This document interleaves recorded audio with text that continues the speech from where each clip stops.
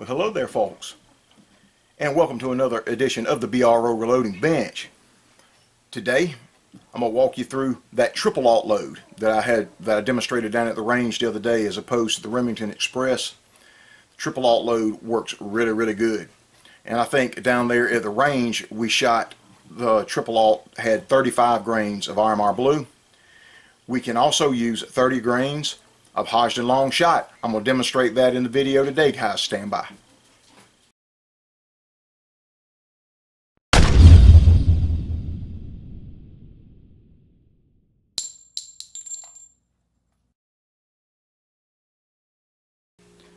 Okay, I'm going to get the uh, Hornady set up. 3, 0, and 0 to get past the decimal. Spence, and she will go and uh, like I said the long shot is a really dense like a metal flake powder. So it's heavy. So I slow that machine. I put it on slow uh, on its slowest speed so that I don't get many overcharges whenever that happens. On normal speed you'll get some overcharges.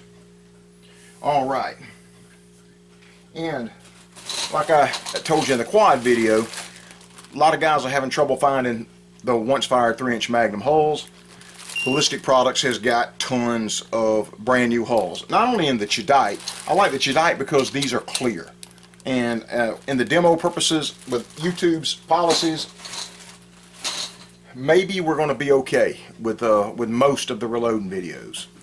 Um, I'm not really that trusting of YouTube yet, so all of that, most all of that stuff is going to be right here on Patreon. So, uh, Let's get this triple aught load put together here. It is a brand new Cheddite primed clear hull and they come in multiple colors. The colors don't matter. They're the same hull. They've also got, let me see, I think I had a few, yeah, Rio.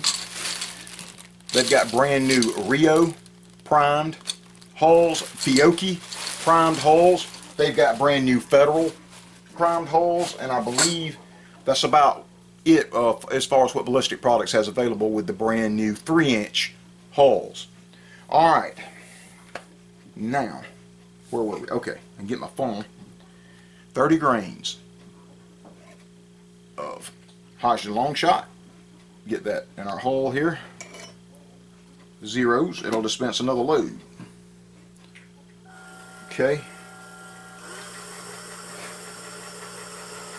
X12X quarter inch seal along with the FX12 half inch fiber wad, the regular fiber, I think it's the uh, FC fiber cushion wad, FC12, not sure, but it's something very similar to that. If you do a search for the 12 gauge half inch fiber wads, it'll list all the, the different ones they've got. They've got some hard waxed, this is like a soft wax, uh, and then no wax whatsoever on the fiber wad. Alright, let's get this sealed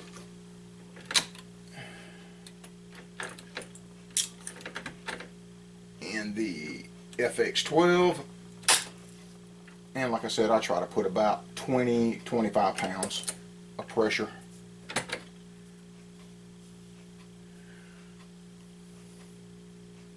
See it in there pretty good I hope.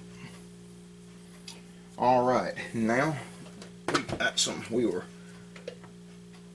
working on powder coating up some more triple aught today we need 10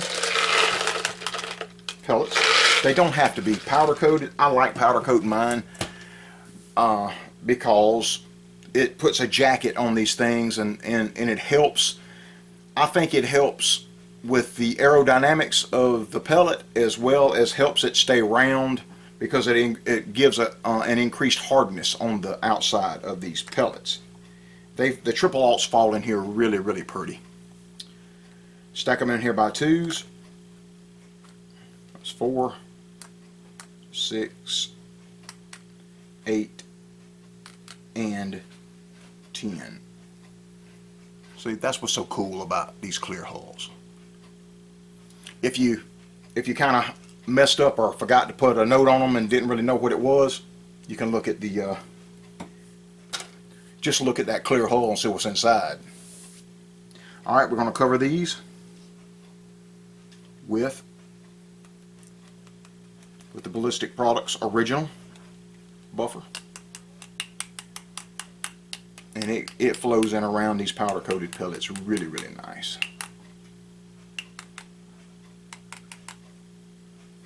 And I completely cover them. I think it's a, a full 3.4, a 3.7 dipper. What is that? 3.4 dipper, pretty much a full dipper. And sometimes I put just a little bit more over it with this, especially using the long shot powder to keep the overcrimp from going in so bad.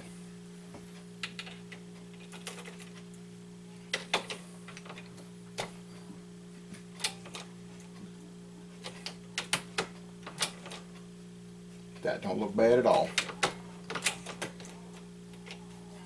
Because it ain't. That's good.